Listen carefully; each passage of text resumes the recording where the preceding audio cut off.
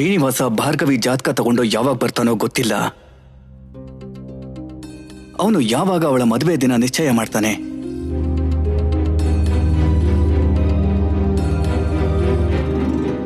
ಸ್ವಾಮಿ ವಿದ್ಯಾ ತಂದೆ ನಿಮ್ ಜೊತೆ ಮದುವೆ ವಿಷಯ ಮಾತಾಡಕ್ ಬಂದಿದ್ದಾರೆ. ನಾನು ಅವ್ರನ್ನ ಅತಿಥಿ ಕೋಣೆನಲ್ಲಿ ಕೂರಿಸಿದ್ದೀನಿ. ಒಳ್ಳೇದು. ನಾನು ಬರ್ತೀನಿ.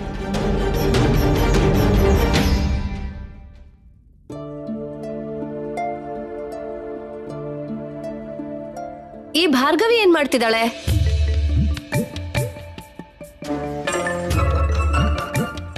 ಭಾರ್ಗವಿ ಏನಾಯ್ತು? ಯಾಕಿಷ್ಟು ಬೇಸರದಲ್ಲಿದ್ಯಾ? ಮತ್ತಿನ್ನೇನ್ ಮಾಡ್ಬೇಕು? ವಿಷಯ ಅಪ್ಪಾಜಿಯ ಕೋಪದಿಂದ ಶುರುವಾಗಿತ್ತು. ಮತ್ತೆ ನಾನೀಗ ಏನ್ ತಿಳ್ಕೊಳ್ಳೋದಕ್ ಚಡಪಡಿಸ್ತಿದ್ದೀನಿ ಅಂದ್ರೆ ಶ್ರೀನಿವಾಸ ನನ್ ಮದ್ವೆಗೆ ಯಾವ ದಿನ ನಿಶ್ಚಯ ಮಾಡ್ತಾನೆ ಅಂತ. ಇದಕ್ಕೆ ಸಂತೋಷ ಪಡ್ಬೇಕು. ಬೇಸರ ಅಲ್ಲ. ಹಾಸ್ಯ ಮಾಡ್ಬೇಡಿ ನೀವು. ನನಗ್ ಬೇಸರ ಆಗಿದೆ. ಅದು ಅಲ್ದೆ ಅಪ್ಪಾಜಿಯ ಭವಿಷ್ಯವಾಣಿನೂ ಇರುತ್ತಲ್ವಾ ನನ್ನ ಮದ್ವೆ ಬಗ್ಗೆ? ಅದ್ರ ಕಥೆ ಏನು? ಇದನ್ನೇ ಯೋಚಿಸಿ ಯೋಚಿಸಿ ನಾನು ನನ್ನ ತಾಳ್ಮೆ ಕಳ್ಕೊತಿದ್ದೀನಿ. ನಾನೀಗ ನಂಬಿರೋ ಶ್ರೀನಿವಾಸನೇ ನನ್ಗೇನು ಅರ್ಥನೇ ಆಗ್ತಿಲ್ಲ.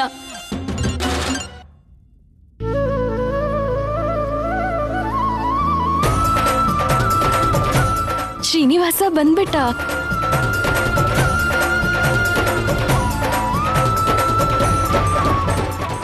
ಇವನೇನೋ ತುಂಬಾ ಸಂತೋಷವಾಗಿದ್ದಾನಲ್ಲ. ನೀನ್ ನನ್ ಜಾತಕ ನೋಡಿದ್ಯಾ? ಹೇಳು. ದಿನ ಗೊತ್ತಾಯ್ತಾ? ಯಾವ ದಿನ? ನಾಳೆ. ನಾಳೆ ಮದುವೆ ನಡೆಯತ್ತೆ. ನಾಳೆನಾ?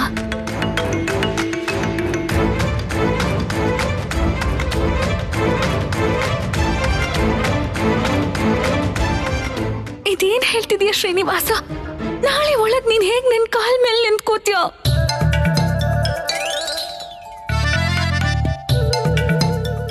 ನೀವದ್ರ ಚಿಂತೆ ಮಾಡಬೇಡಿ. ಅದರ ವ್ಯವಸ್ಥೆ ನಾವು ಮಾಡ್ತೀವಿ. ಭೃಗು ಮಹರ್ಷಿಗಳೇ ಪ್ರಣಾಮಗಳು. ಬಂದ್ಯಾ ನೀನು?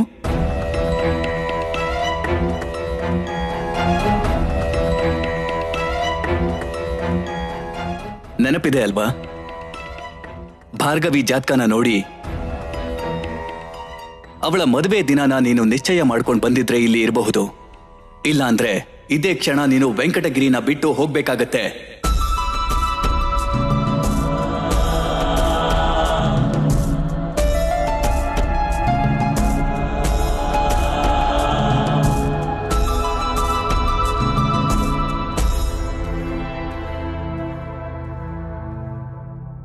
ನಾನು ನಿಮ್ಮ ಸೇವಕ.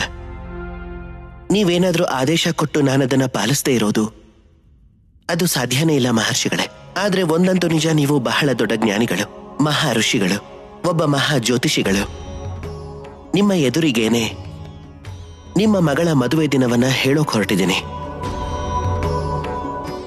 ಇಷ್ಟು ದೊಡ್ಡ ಕೆಲಸನ ನಿಮ್ಮ ಆಶೀರ್ವಾದ ಇಲ್ಲದೆ ನಾನು ಮಾಡೋಕ್ಕಾಗಲ್ಲ. ಸರಿ. ಈಗ ನನಗೆ ತೋರಿಸು. ಇದ್ರ ಅರ್ಥ ನಿಜವಾಗ್ಲೂ ನಾಳೆನೆ ನನ್ ಮದ್ವೆ ಆಗುತ್ತಾ? ಭೃಗು ಮಹರ್ಷಿಗಳೇ ನಿಮ್ಮ ಪ್ರಕಾರ ಭಾರ್ಗವಿ ಜಾತಕದ ಗ್ರಹಗಳು ಮತ್ತು ರಾಜ್ಕುಮಾರಿ ಪದ್ಮಾವತಿ ಜಾತಕದ ಗ್ರಹಗಳು ಎರಡೂ ಸಮಾನವಾಗಿದೆ. ಒಂದಂತೂ ಸತ್ಯ ಮಹರ್ಷಿಗಳೇ, ಅದೇನು ಅಂದ್ರೆ ಗ್ರಹಗಳ ದಿಕ್ಕಲ್ಲಿ ಸ್ವಲ್ಪ ಬದಲಾವಣೆ ಇದೆ. ಒಂದು ಉತ್ತರಾಯಣದಲ್ಲಿದೆ, ಇನ್ನೊಂದು ದಕ್ಷಿಣಾಯನದಲ್ಲಿದೆ. ಇದರ ಪ್ರಕಾರವಾಗಿ ನೋಡೋದಾದ್ರೆ ಇಂಥದ್ದೇ ಒಂದು ಸಂಯೋಜನೆ ರಾಜ್ಕುಮಾರಿ ಪದ್ಮಾವತಿಯವರ ಸ್ವಯಂವರದ ಆರು ತಿಂಗಳಿಗೆ ಕಾರ್ತಿಕ ಮಾಸದಲ್ಲಿ ಬರುತ್ತೆ. ಇದೇನ್ ಹೇಳ್ತಿದ್ದಾನೆ ಶ್ರೀನಿವಾಸ? ಈಗಷ್ಟೇ ನನಗೆ ನಾಳೆನೇ ಮುಹೂರ್ತ ಇದೆ ಅಂತ ಹೇಳ್ದ? ಆದ್ರೆ ಇದು ಹೇಗ್ ಸಾಧ್ಯ? ನಾನು ಹಾಗೆ ಹೇಳ್ತಿಲ್ಲ ಭೃಗು ಮಹರ್ಷಿಗಳೇ. ಭಾರ್ಗವಿ ಜಾತಕ ಹಾಗೆ ಹೇಳ್ತಿದೆ. ನೋಡಿ ರಾಜಕುಮಾರಿ ಪದ್ಮಾವತಿ ಅವರ ಮದುವೆ ನಡೆಯೋದು ವೈಶಾಖ ಮಾಸದಲ್ಲಿ. ಹ್ಮ್. ಸರಿಯಾಗಿ ಆರು ತಿಂಗಳ ನಂತರ ಕಾರ್ತಿಕ ಮಾಸ ಬರುತ್ತೆ. ಆಗ ಭಾರ್ಗವಿಯ ಜಾತಕದ ಎಲ್ಲ ಗ್ರಹ ನಕ್ಷತ್ರಗಳು ತನ್ನ ಲೆಕ್ಕಾಚಾರದಿಂದ ಎಂಥ ಪರಿಸ್ಥಿತಿಗೆ ಬರುತ್ತೆ ಅಂದ್ರೆ ಭಾರ್ಗವಿ ಮದುವೆಗೆ ಎಲ್ಲಕ್ಕಿಂತ ಉತ್ತಮವಾದ ಗ್ರಹಕೂಟ ಇರತ್ತೆ. ಅದಕ್ಕೆ ನನ್ನ ನಿರ್ಧಾರ ಏನು ಅಂದ್ರೆ, ಮುಂಬರೋ ಕಾರ್ತಿಕ ಮಾಸ ಶುಕ್ಲ ಪಕ್ಷದ ದಶಮಿ ದಿನ ಇದಾಗತ್ತೆ ಭಾರ್ಗವಿಯ ಮದುವೆಯ ದಿನ. ನೀವೇ ಬೇಕಾದ್ರೆ ಒಂದ್ಸಲ ಪರಿಶೀಲನೆ ಮಾಡಿ ನೋಡಿ. ಒಂದ್ ವೇಳೆ ನನ್ನಿಂದ ತಪ್ಪಾಗಿದ್ರೆ ದಯವಿಟ್ಟು ತಿಳಿಸಿ.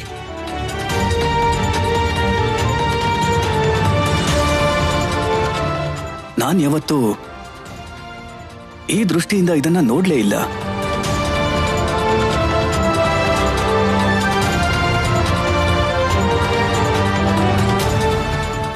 ಶ್ರೀನಿವಾಸ, ನಿನಗೆ ಸಂಪೂರ್ಣ ವಿಶ್ವಾಸ ಇದೆಯಾ ಈ ನಿನ್ನ ಲೆಕ್ಕಾಚಾರ ಸರಿ ಇದೆ ಅಂತ? ವಿಶ್ವಾಸ ಇಲ್ಲ ಅಂದಿದ್ರೆ ಇಲ್ಲಿಗೆ ಯಾಕೆ ಬರ್ತಿದ್ದೆ? ವೆಂಕಟಗಿರಿ ಬಿಟ್ಟು ಹೊರಟು ಹೋಗ್ತಿದ್ದೆ ಮಹರ್ಷಿಗಳೇ. ನಿನ್ ಲೆಕ್ಕಾಚಾರ ಸರಿಯಾಗಿರ್ಲಿ ಅಂತ ನಾನು ಕೂಡ ಬಯಸ್ತೀನಿ.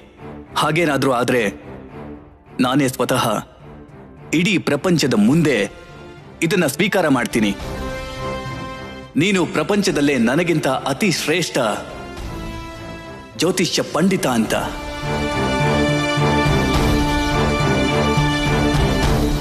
ಒಂದ್ ವೇಳೆ ನಿನ್ನ ಲೆಕ್ಕಾಚಾರ ತಪ್ಪಾಗಿದ್ರೆ ನೀನು ಅದೇ ಕ್ಷಣ ವೆಂಕಟಗಿರಿನ ಬಿಟ್ಟು ಹೋಗ್ಬೇಕಾಗತ್ತೆ.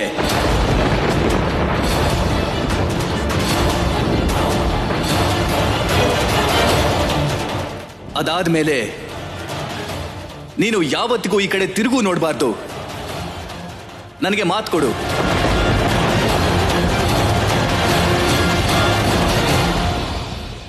ಸರಿ.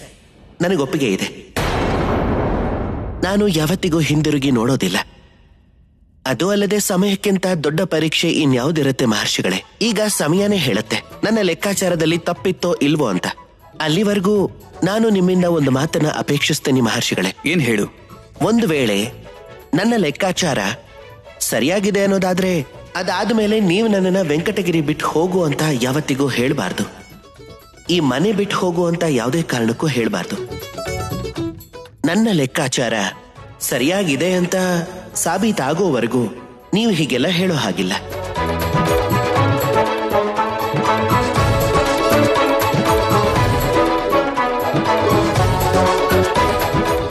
ಹಾಗೆ ಆಗ್ಲಿ ಶ್ರೀನಿವಾಸ. ನಾನ್ ನಿನಗೆ ಮಾತು ಕೊಡ್ತೀನಿ.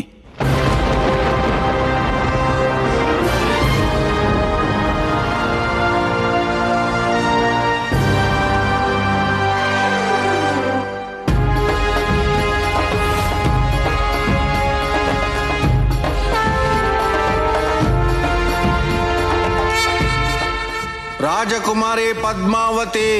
ಸ್ವಯಂವರಕ್ಕೆ ಎಲ್ಲ ರಾಜಕುಮಾರರು ಆಗಮಿಸುತ್ತಿದ್ದಾರೆ.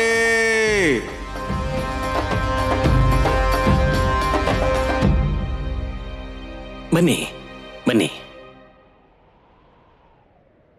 ಪ್ರಣಾಮಗಳು ಮಹಾರಾಜ. ಬನ್ನಿ ವೈದೇಹಿ ರಾಜ.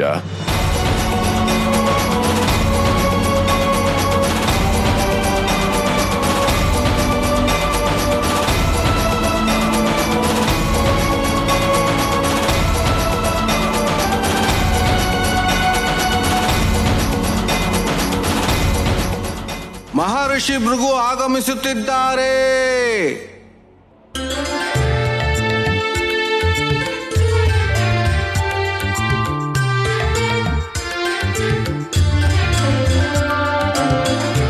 ಪ್ರಣಾಮಗಳು ಭೃಗು ಮಹರ್ಷಿಗಳೇ ಬನ್ನಿ.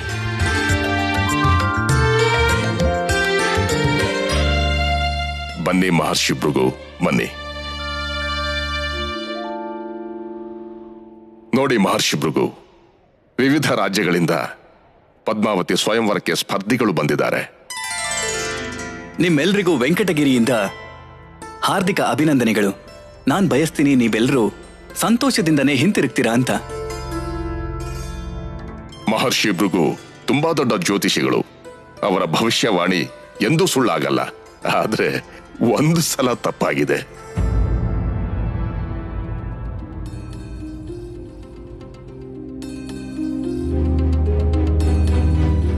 ಬನ್ನಿ. ನೀವೆಲ್ಲ ಸ್ವಲ್ಪ ವಿಶ್ರಾಂತಿ ತಗೊಳ್ಳಿ. ಆದ್ರೆ ಮಹಾರಾಜ ಸ್ವಯಂವರಕ್ಕೂ ಮೊದಲು ನಮಗೆ ಪದ್ಮಾವತಿಯ ಪರಿಚಯನಾದರೂ ಮಾಡಿಸಿ. ನಾವು ತುಂಬಾನೇ ಕೇಳಿದೀವಿ ಅವರ ಸೌಂದರ್ಯ ಮತ್ತೆ ಕುಶಲತೆಯ ಬಗ್ಗೆ. ಖಂಡಿತ. ಆದ್ರೆ ಇದಕ್ಕಾಗಿ ನಾವು ವಿಶೇಷವಾಗಿ ಯೋಚನೆ ಮಾಡಿದೀವಿ. ವಾಸು ಹೋಗಿ ಪದ್ಮಾವತಿನ ಕರ್ಕೊಂಡ್ ಬಾ. ಆಗ್ಲಿ ಅಪ್ಪಾಜಿ.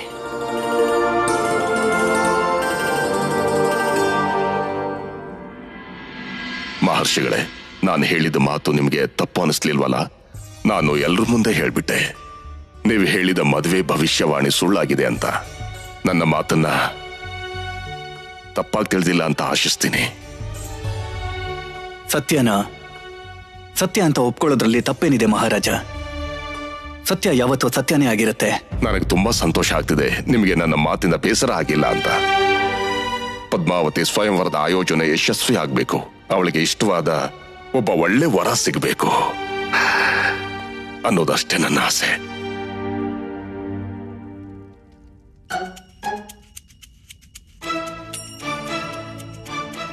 ಅರೇ ಇಷ್ಟೊಂದು ವಿಶೇಷವಾಗಿ ಏನ್ ಮಾಡ್ತಿದ್ಯಾ? ನಾನು ವಿಶೇಷವಾದ ಪಾಯಸ ಮಾಡ್ತಿದ್ದೀನಿ ಭಾರ್ಗವಿ.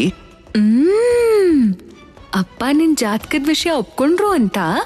ಅವ್ರಿಗೋಸ್ಕರ ನೀನ್ ಪಾಯಸ ಮಾಡ್ತಿದ್ಯಾ? ನಾನ್ ನಿಮ್ ತಂದೆಗೆ ಮಾತು ಕೊಟ್ಟಿದ್ನಲ್ವಾ? ನಿನ್ ಮದುವೆಗೆ ಪಾಯಸ ನಾನೇ ಮಾಡ್ತೀನಿ ಅಂತ. ಹಾಗೆ ರಾಜ್ಕುಮಾರಿ ಪದ್ಮಾವತಿ ಸ್ವಯಂವರಕ್ಕೂ ಪಾಯಸ ತಯಾರಿಸೋಣ ಅನ್ಕೊಂಡೆ. ಅದ್ ಸರಿ ಅದನ್ನೆಲ್ಲ ಬಿಡು. ನನಗೆ ಇದನ್ ಹೇಳು. ನೀನ್ ನನ್ ಜೊತೆ ಯಾಕೆ ಆ ರೀತಿ ತಮಾಷೆ ಮಾಡ್ದೆ?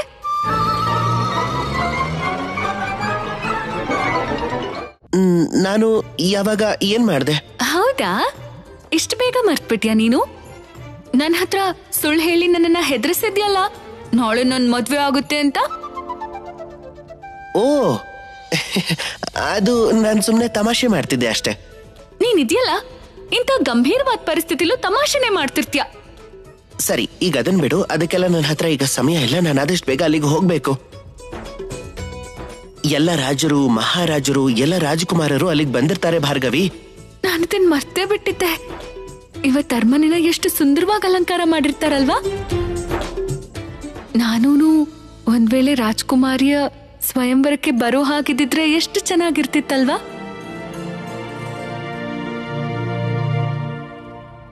ನಾನ್ ನಿನ್ ಜೊತೆ ಬರ್ಬಹುದಲ್ವಾ ನೋಡು ಭಾರ್ಗವಿ, ಒಬ್ಬ ಹುಡುಗಿಯಾಗಿ ಇನ್ನೊಬ್ಬ ಹುಡುಗಿಯ ಸ್ವಯಂವರಕ್ಕೆ ಹೋಗ್ಬಾರ್ದು ಅನ್ನೋ ಪದ್ಧತಿ ಏನಿಲ್ವಲ್ಲ?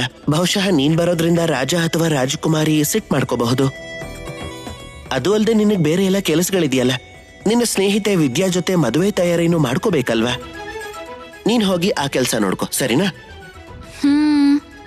ಈಗ ನಾನು ಹೊರಡ್ತೀನಿ. ನನಗ್ ತಡ ಆಗ್ತಾ ಇದೆ. ಸರಿನಾ?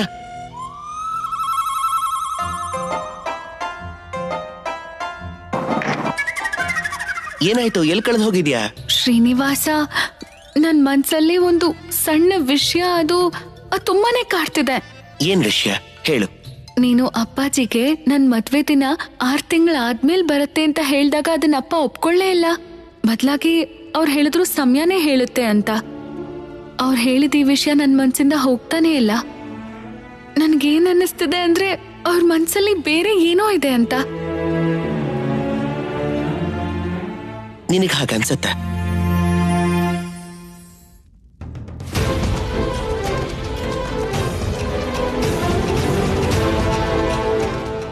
ಕೂತ್ಕೊಳ್ಳಿ ಕೂತ್ಕೊಳ್ಳಿ. ಬನ್ನಿ ಮಹರ್ಷಿಗಳೇ.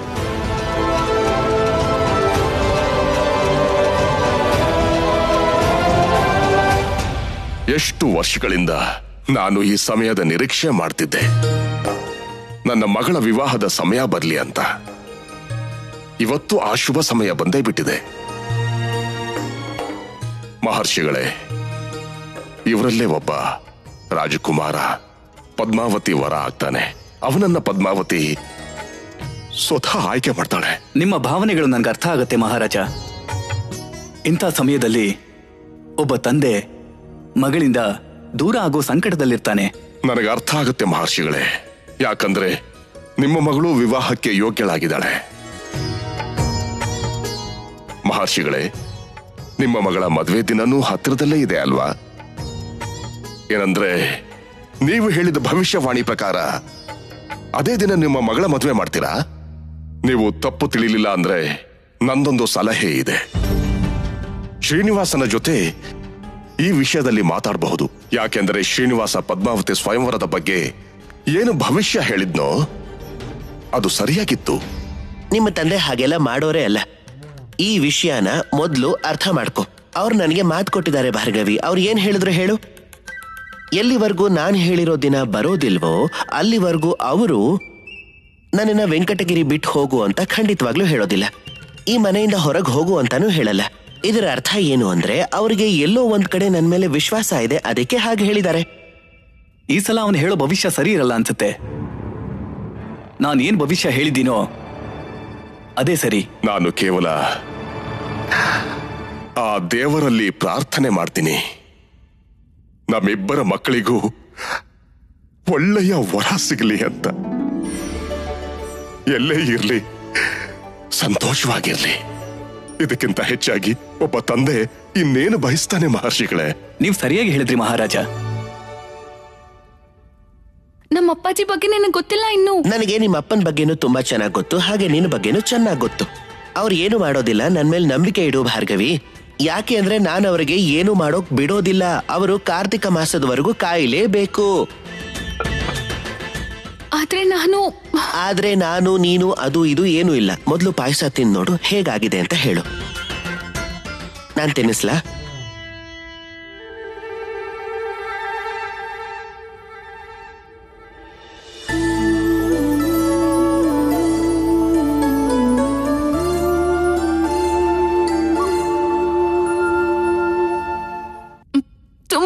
ರುಚಿಯಾಗಿದೆ. ನೀನ್ ನಕ್ಬಿಟ್ಟಿಯಲ್ಲ ಈಗ ನನಗೆ ಇನ್ನೇನ್ ಬೇಕು? ತಗೋ ಇದನ್ನ ನೀನ್ ತಿನ್ನು. ನಾನೀಗ ಹೋಗ್ಲೇಬೇಕು ಭಾರ್ಗವಿ. ಸರಿನಾ? ನನ್ನಿಂದ ಇನ್ನೂ ತಡ ಆಗ್ಲೇಬಾರ್ದು. ಸರಿ ನಾನು ಹೊರಡ್ತೀನಿ. ಬರ್ಲಾ?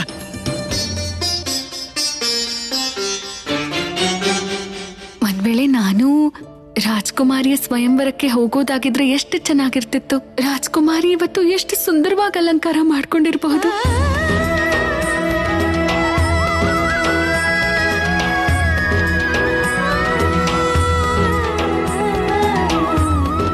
ಇವತ್ ನಿಮ್ಮನ್ನ ನೋಡಿ ಎಲ್ಲರ ಕಣ್ಣು ಬೆರಗಾಗುತ್ತೆ. ಎಷ್ಟು ಸುಂದರವಾಗಿ ಕಾಣಿಸ್ತಿದ್ದೀರಾ? ರಾಜ್ಯಸಭೆಯಲ್ಲಿ ಎಲ್ಲರೂ ನಿಮ್ಮನ್ನ ನೋಡೋದಿಕ್ಕೆ ಕಾಯ್ತಿದ್ದಾರೆ. ಅವರು ಈ ಮುಖ ನೋಡಷ್ಟೇ ಸಂತೋಷ ಪಡ್ಬೇಕು. ಅವರು ಯಾವ ಕಾರಣಕ್ಕೆ ಇಲ್ಲಿಗೆ ಬಂದಿದ್ದಾರೋ? ಅದಂತೂ ಖಂಡಿತ ಯಶಸ್ವಿ ಆಗಲ್ಲ. ಯಾಕಂದ್ರೆ ನಾನು ಯಾರನ್ನ ಮದ್ವೆ ಆಗ್ಬೇಕು ಅನ್ನೋದು ಈಗಾಗ್ಲೇ ನಿರ್ಧಾರ ಆಗಿದೆ.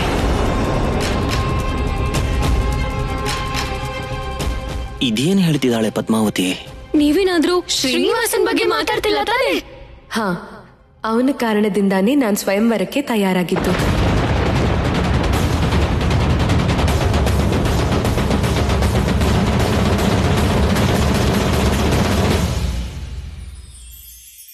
ಸುಖ ಮತ್ತು ದುಃಖ. ಇವೆರಡೂ ನಮ್ಮ ಜೀವನದ ಅತಿ ಮುಖ್ಯವಾದ ಮತ್ತು ಅಗತ್ಯವಾದ ಎರಡು ಮುಖಗಳು. ನಮ್ಮೆಲ್ಲರ ಜೀವನದಲ್ಲೂ ಕೆಲವೊಂದ್ಸಲ ಸುಖನೂ ಬರುತ್ತೆ, ಕೆಲವೊಂದ್ಸಲ ದುಃಖನೂ ಬರುತ್ತೆ. ಹೇಗೆ ಸುಖ ಪಡೆಯೋದು, ಹೇಗೆ ದುಃಖದಿಂದ ದೂರ ಇರೋದು ಅಂತ ನಾವ್ ಯಾವಾಗ್ಲೂ ಜೀವನದಲ್ಲಿ ಯೋಚಿಸ್ತಾ ಇರ್ತೀವಿ. ನಮ್ಮ ಜೀವನದಲ್ಲಿ ಏನೇ ನಡೆದ್ರೂ ಕೂಡ ಅದನ್ನ ಸುಖ, ದುಃಖಗಳ ಮಾನದಂಡದಲ್ಲೇ ಅಳಿತೀವಿ. ಆದ್ರೆ ಇದರಲ್ಲೊಂದು ಸಣ್ಣ ವ್ಯತ್ಯಾಸ ಇದೆ. ಮೊದಲು ಸುಖವಾಗಿರೋ ವ್ಯಕ್ತಿ ಯಾರು ಅಂತ ಯೋಚಿಸ್ತೀವಿ. ಸುಖವಾದ ವ್ಯಕ್ತಿ ಯಾರು ಅಂದ್ರೆ ತನ್ನ ಜೀವನದಲ್ಲಿ ಎಲ್ಲ ಕೆಲಸಗಳನ್ನ ನಿರ್ಧರಿಸುವಂತವನು ಅದನ್ನ ಪಾಲಿಸುವಂತವನು ಅವನು ಏನ್ ಮಾಡ್ತಿದ್ದಾನೆ ಅನ್ನೋದು ಅವನಿಗೆ ಚೆನ್ನಾಗಿ ತಿಳಿದಿರುತ್ತೆ. ಒಂದು ವೇಳೆ ಅದರಲ್ಲಿ ದೋಷ ಇದ್ರೆ, ಕೊರತೆ ಇದ್ರೆ, ಅದನ್ನ ಸರಿಪಡಿಸ್ಕೊಂಡು ಮುಂದುವರಿತಾ ಇರ್ತಾನೆ. ಅದಕ್ಕೆ ಅವನು ಸುಖವಾಗಿರ್ತಾನೆ. ಹೀಗೆ ಒಬ್ಬ ವ್ಯಕ್ತಿ ದುಃಖದಲ್ಲಿದ್ರೆ ಆಗ ಅವನೇನ್ ಮಾಡ್ತಾನೆ? ಅವನು ತನ್ನ ಮೇಲೆಲ್ಲ, ಬೇರೆಯವರ ಮೇಲೆ ಕಣ್ಣಿಟ್ಟಿರ್ತಾನೆ. ಅವನು ಏನ್ ಮಾಡ್ತಾನೆ? ಅವನ ಕೆಲಸ ಏನು? ಬೇರೆಯವರನ್ನೇ ನಿಂದಿಸ್ತಿರ್ತಾನೆ. ಅವನ ಯಶಸ್ಸನ್ನ ನೋಡಿ ಅಸೂಯೆ ಪಡ್ತಾನೆ, ಸಿಟ್ಟು ಮಾಡ್ಕೋತಾನೆ, ಅವನನ್ನ ತಡೆಯೋ ಪ್ರಯತ್ನಗಳನ್ನು ಮಾಡ್ತಾನೆ. ಅದಕ್ಕೆ ಅವನು ದುಃಖದಲ್ಲಿರ್ತಾನೆ. ಪ್ರಪಂಚದಲ್ಲಿ ಎಷ್ಟೋ ಜನಗಳಿರ್ತಾರೆ, ಅವರ ಜೀವನದಲ್ಲಿ ದುಃಖ ಇದೆ ಅಂತ ಅವರು ದುಃಖದಲ್ಲಿ ಇರೋದಿಲ್ಲ ಅವರು ಯಾಕೆ ದುಃಖದಲ್ಲಿರ್ತಾರೆ ಅಂದ್ರೆ ಬೇರೆಯವರ ಜೀವನದ ಸುಖವನ್ನ ನೋಡಿ. ಕಡೆಗೆ ಏನಾಗತ್ತೆ? ನೀವು ಮಾಡುವಂತಹ ಕೆಲಸಗಳ ಮೇಲೆ ನೀವು ಗಮನ ಕೊಡಬೇಕು ಅಷ್ಟೆ. ಬೇರೆಯವರ ಮೇಲಲ್ಲ. ಯಾಕೆ ಅಂದ್ರೆ ನಿಮ್ಮ ಜೀವನದಲ್ಲಿ ನಿಮ್ಮ ನಿಯಂತ್ರಣದಲ್ಲಿರೋದು ನಿಮ್ಮ ಕೆಲಸ ಮಾತ್ರ. ಸತತವಾದ ಪ್ರಯತ್ನ ಮಾಡಿ ನಿಮ್ಮ ಕೆಲಸಗಳನ್ನು ಅರ್ಥ ಮಾಡ್ಕೊಳ್ಳಿ ಅದನ್ನು ಸುಧಾರಿಸಿ. ನೀವು ಉತ್ತಮರಾದ್ರೆ ಯಶಸ್ಸು ತಾನಾಗೆ ನಿಮ್ಮ ಹತ್ರ ಬರುತ್ತೆ ಆಗ ಈ ಮನಸ್ಸು ಸಂತೋಷದಿಂದ ಹೇಳುತ್ತೆ. ರಾಧೆ ರಾಧೆ. ರಾಜಕುಮಾರಿ ಪದ್ಮಾವತಿ ಸ್ವಯಂವರ ಪ್ರಾರಂಭ ಆಗ್ತಾ ಇದೆ. ಒಂದು ಕ್ಷಣ ನಿಲ್ಲಿಸಿ ಮಹಾರಾಜ ಸ್ವಯಂವರದ ಸ್ಪರ್ಧೆ ನೃತ್ಯ ಕಲೆ ಈ ನೃತ್ಯ ಕಲೆಯನ್ನ ಯಾರಾದ್ರೂ ಒಬ್ರು ಪರೀಕ್ಷೆ ಮಾಡ್ಲೇಬೇಕಲ್ವಾ? ಯಾರು ಮಾಡ್ತಾರೆ ಈ ಆಯ್ಕೆನ?